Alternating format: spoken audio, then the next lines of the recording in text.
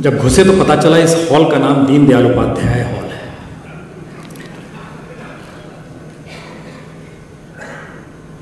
जिस फिलॉसफी को दीनदयाल उपाध्याय जी कहते थे, वह इंटीग्रल ह्यूमनिज्म का ज़िक्र करते थे। उसमें तीन बातें थी।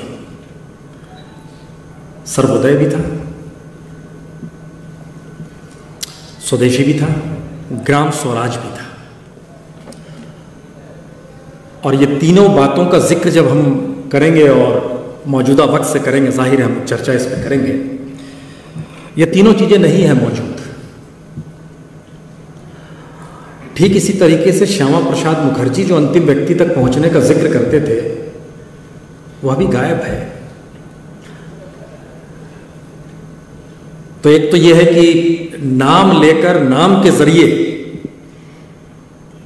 आप कुछ ना कुछ आपके जहन में अक्सर आता है। कोई भी नाम आप जहन में लेंगे तो उसके साथ एक फिलॉसफी आपके जहन में आती है।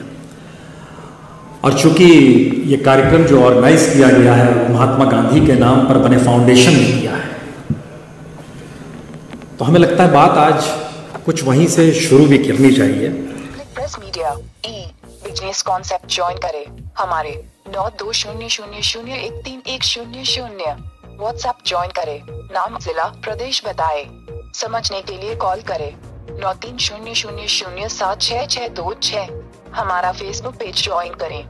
Public press partner YouTube channel subscribe करें। Public press media e business concept के साथ। पब्लिक प्रेस का मालिक बने।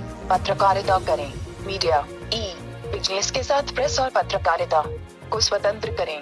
मीडिया लागत निकाले। मीडिया ई बिज़नेस के साथ व्यापार कर रही यूट्यूब